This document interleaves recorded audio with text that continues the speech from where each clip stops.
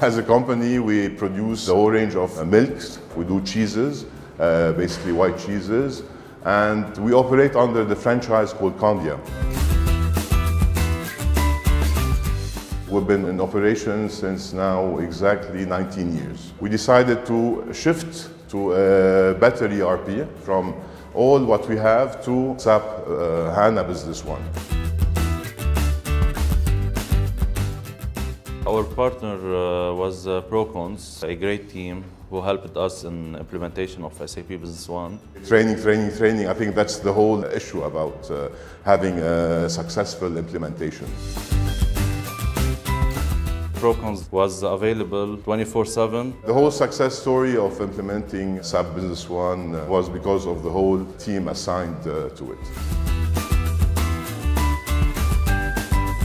Beas, it's uh, an add-on advanced uh, production. Many features are helping us to uh, control and manage all the production process. The best is the MRP, which is uh, helping us look what our materials, what our requirements, and how we can plan with a schedule and uh, fulfill all the market needs uh, in, on specific time.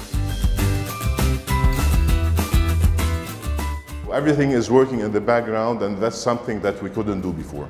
Uh, SAP Business One have uh, centralized all our uh, process and workflow uh, in one application. With SAP Business One, now we have real-time inventory. All users are connected on one database, uh, and this helped our company to improve more.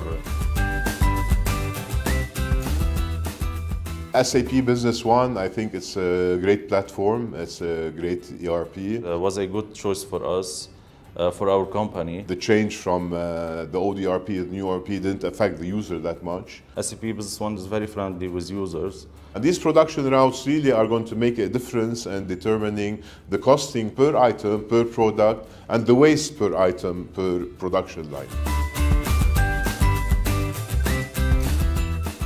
SAP will allow us through its dashboard to sum up the whole activity of the company.